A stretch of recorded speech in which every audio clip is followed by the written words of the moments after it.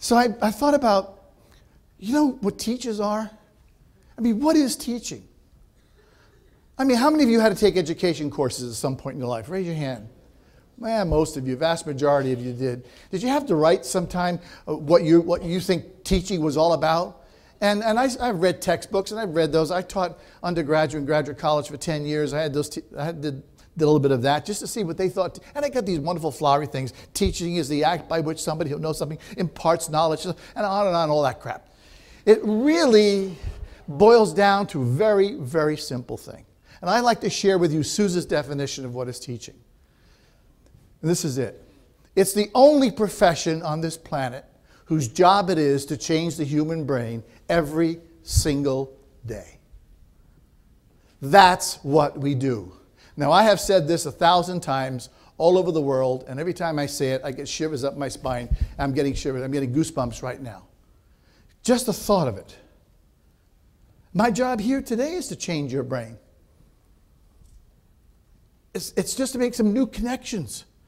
In other words, I'll make it even shorter for you. Teachers are brain changers. Well, damn it, if we're brain changers, doesn't it make sense that the more we understand about how that brain works, the better we can be at that? Hello? It's okay to talk back to me.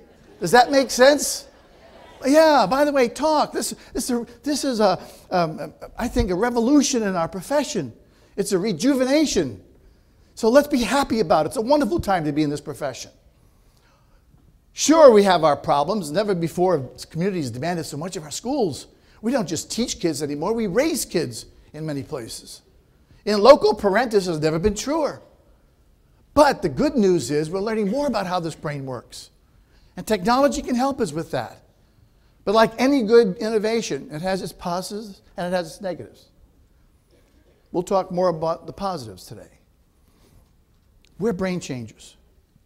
When you are in that classroom and you are working with your students, this is what's happening in their brain. New connections are being made. They're thinking, making connections from what you're presenting today to what they already know. They're searching their long term storage areas to find out what do I know about this so far? Does this make sense to me? What, why do I have to know this? What's it going to do with me?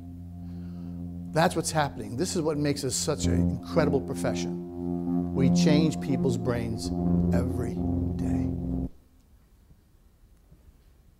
This has become so important that we actually have a new science that has evolved now. It's called educational neuroscience. It's kind of the interface between neuroscience, pedagogy, the, the art of teaching, and psychology. Sometimes it's called mind, brain, and education. But it's a new science. It's now officially a science.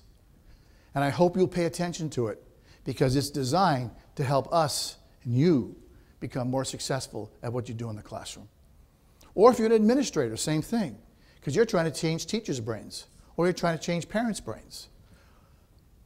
No matter what you do, everybody in this room is a brain changer in some way. The more you know about how it works, the better you can be at it.